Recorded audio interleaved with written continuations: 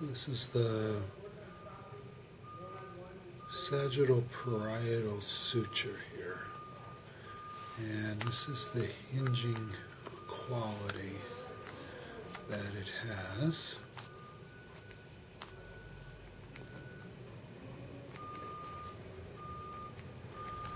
And then if you look at the side, the suture, this is above the ear. Oh, it's a slide here. It's just a long angled surface, which is engaged with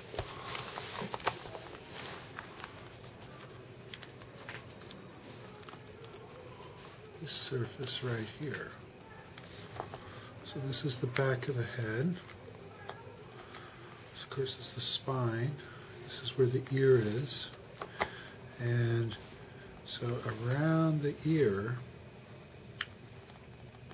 the temple, is this temporal parietal suture. Which has this quality.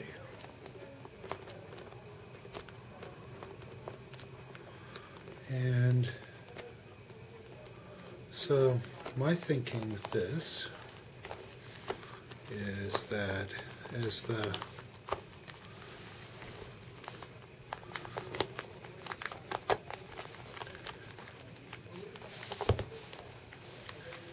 as load comes up the spine,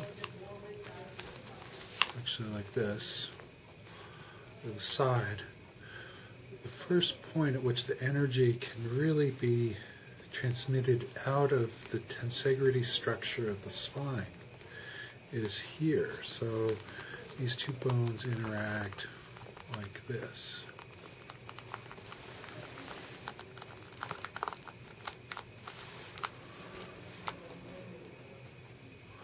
So,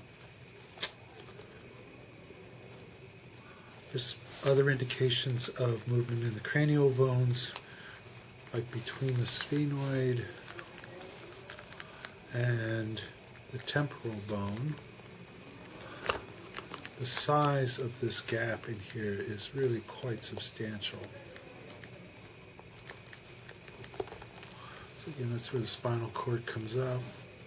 Sphenoid is to the front of it, and this is the temporal bone with the parietal bone up here. The sutures here, and then this moves really quite. There's a lot of activity in here. There's a lot of channels for nerves and veins, arteries, jugular foramen. So, this it's really quite apparent that this thing doesn't fuse. It's really quite large. And this gap is really quite large all the way through here. So, that's that.